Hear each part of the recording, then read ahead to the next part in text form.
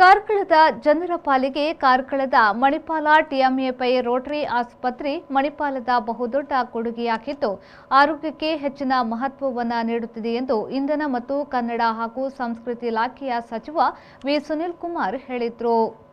ಅವರು ಕಾರ್ಕಳದ ಮಣಿಪಾಲ ಟಿಎಂಎಪೈ ರೋಟರಿ ಆಸ್ಪತ್ರೆಯ ವಿಸ್ತೃತವಾದ ಆಸ್ಪತ್ರೆ, ಕೆ. ಕೃಷ್ಣಪ್ರಭು ಒಪಿಡಿ ಬ್ಲಾಕ್ ಮತ್ತು ಹೊಸ ಆಪರೇಷನ್ ಥಿಯೇಟರ್ ಕಾಂಪ್ಲೆಕ್ಸ್ನ ಉದ್ಘಾಟನಾ ಕಾರ್ಯಕ್ರಮದಲ್ಲಿ ಮಾತನಾಡಿದರು.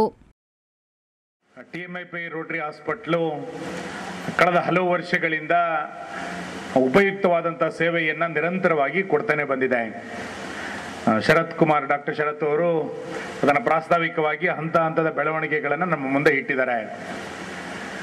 ಇತ್ತೀಚಿನ ದಿನಗಳಲ್ಲಿ ಹೊಸ ಹೊಸ ರೀತಿಯಾದಂಥ ಸೇರ್ಪಡೆಗಳನ್ನು, ಸೇವೆಗಳನ್ನು ಜೋಡಿಸಿಕೊಳ್ಳೋದ್ರ ಮುಖಾಂತರ ಒಂದು ಪರಿಪೂರ್ಣವಾದಂಥ ಆಸ್ಪತ್ರೆಯನ್ನ ಹೊಂದುವಂಥ ಒಂದು ಅವಕಾಶ ಕಾರ್ಕಳದ ಈ ಹಾಸ್ಪಿಟ್ಲಿಗೆ ಒದಗಿರುವಂಥದ್ದು ನಮ್ಮೆಲ್ಲರದು ಕೂಡ ಸೌಭಾಗ್ಯ ಅಂತ ನಾನು ಭಾವಿಸ್ತೇನೆ.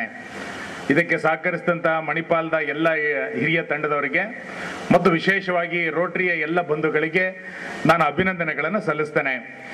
ಆರೋಗ್ಯ ಸೇವೆ ಎನ್ನುವಂಥದ್ದು ಬಹಳ ಪ್ರಮುಖವಾಗಿರುವಂಥ ಸಂಗತಿ.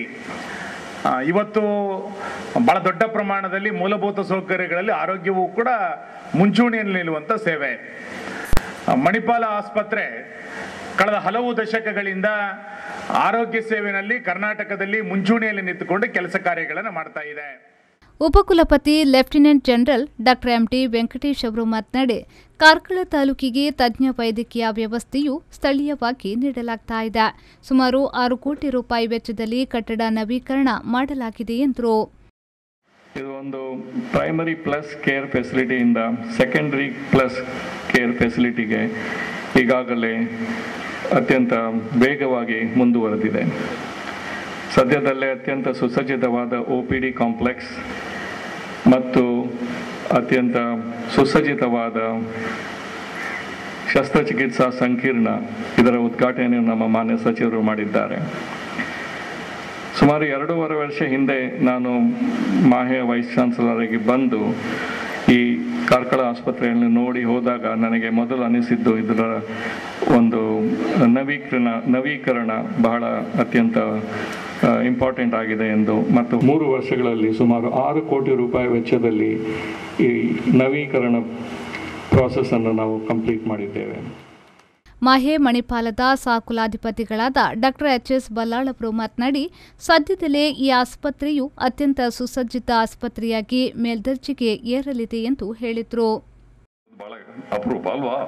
ಆದರೆ ಸುನೀಲ್ ಕುಮಾರ್ ಹಾಗಲ್ಲ I always call him as a politician with the difference ಹಾಗಾಗಿ ನಮ್ಮ ಮಣಿಪಾಲ ಸಮೂಹ ಸಂಸ್ಥೆ ಮೇಲೆ ಬಹಳಷ್ಟು ಅವರಿಗೊಂದು ಅಭಿಮಾನ ಉಂಟು.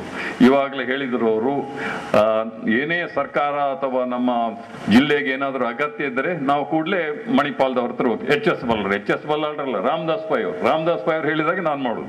ಅವರು ಅವ್ರ ಹತ್ರ ಹೋದರೆ ಖಂಡಿತ ನಾವು ಸಹಾಯ ಮಾಡಿದ್ದೇವೆ. ಈ ಕೊರೋನಾದ ಸಮಯದಲ್ಲಿ ನಮ್ಮ ಶಶಿಕಿರಣ ನಿಲ್ಲ ಬೇಡ ನೋಡ್ಲಿ. Udupi T M A Pai ಆಸ್ಪತ್ರೆ. ಇಡೀ ಆಸ್ಪತ್ರೆಯನ್ನು ನಾವು ನೂರೈವತ್ತು ಬೆಡ್ಡಿನ ಆಸ್ಪತ್ರೆಯನ್ನು ನಾವು ಕೊರೋನಾಕ್ಕೋಸ್ಕರ ಕೊಟ್ಟಿಲ್ಲ ಬೀಂಗ್ ಗಿವನ್ ಟು ಕೊರೋನಾ. ಅಂತ ಒಂದು ಒಳ್ಳೆ ಕೆಲಸವನ್ನು ಮಾಡ್ತಾ ಇದ್ದೇವೆ. ಮತ್ತು ನಮ್ಮ ಡಿ ಸಿ ಅವರು ಯಾವಾಗಲೂ ಫೋನ್ ಮಾಡ್ತಾ ಇರ್ತಾರೆ. ರಘುಪತಿ ಭಟ್ ನಮ್ಮ ಉಡುಪಿಯ ಜನ ಪ್ರಿಯ ಶಾಸಕರು ಮಾಡ್ತಾ ಇದ್ದಾರೆ. ಏನೇ ಹೇಳಿದ್ರು ನಾವು ಖಂಡಿತ ಅವರಿಗೆ ಸಹಾಯ ಮಾಡ್ತೇವೆ. ನಾವಿನ ಶೆಟ್ರು ನಮಗೆ ಭರವಸೆಯನ್ನು ಕೊಡ್ಲಿಕ್ಕೆ ಬಯಸ್ತೇನೆ. ಏನಂತ ಹೇಳಿದ್ರೆ ನಮ್ಮ ಮಣಿಪಾಲ ಸಮೂಹ ಸಂಸ್ಥೆಯವರು ನಮ್ಮ ಸರ್ಕಾರಕ್ಕೆ ಅಥವಾ ನಮ್ಮ ಜಿಲ್ಲೆಗೆ ಏನಾದರೂ ಸಹಾಯ ಬೇಕಾದ್ರೆ, ನಮ್ಮ ಆರೋಗ್ಯ ಕ್ಷೇತ್ರದಲ್ಲಿ ಏನಾದರೂ ಸಹಾಯ ಬೇಕಾದ್ರೆ ಅದನ್ನು ಖಂಡಿತ ಒದಗಿಸುತ್ತೇವೆ ಎಂಬ ಒಂದು ಭರವಸೆಯನ್ನು ಕೊಡ್ತಿದ್ದೆ. ಕಸ್ತೂರ್ಬಾ ವೈದ್ಯಕೀಯ ಕಾಲೇಜಿನ ಡೀನ್ ಡಾಕ್ಟರ್ ಪದ್ಮರಾಜ್ ಹೆಗಡೆ ಮಹೆ ಮಣಿಪಾಲದ ಬೋಧನಾ ಆಸ್ಪತ್ರೆಗಳ ಮುಖ್ಯ ಕಾರ್ಯನಿರ್ವಹಣಾಧಿಕಾರಿ ಡಾಕ್ಟರ್ ಆನಂದ್ ವೇಣುಗೋಪಾಲ್, ಕಸ್ತೂರ್ಬಾ ಆಸ್ಪತ್ರೆ ಮಣಿಪಾಲದ ವೈದ್ಯಕೀಯ ಅಧೀಕ್ಷಕರಾದ ಡಾಕ್ಟರ್ ಅವಿನಾಶ್ ಶೆಟ್ಟಿ ಉಪಸ್ಥಿತರಿದ್ದರು.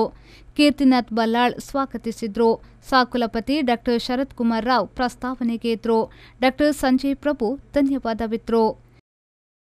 K M Khalil, V news, Karkala.